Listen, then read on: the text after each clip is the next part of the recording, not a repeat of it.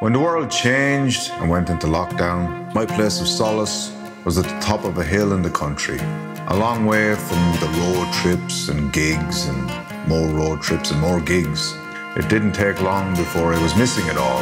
No one could go more than two kilometers from their home, so with only mountains as an audience, I started to do what I do, uh, play music.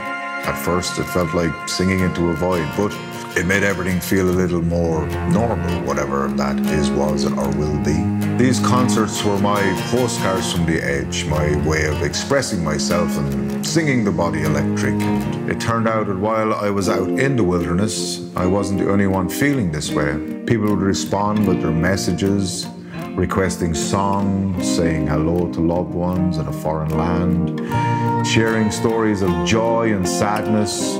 It's this experience and these postcards from the edge that have inspired this new program.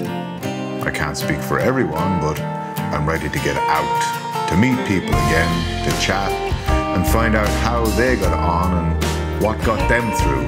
That's what this show is all about meeting real people and sharing their stories. And of course, there will be lots of music and crack along the way.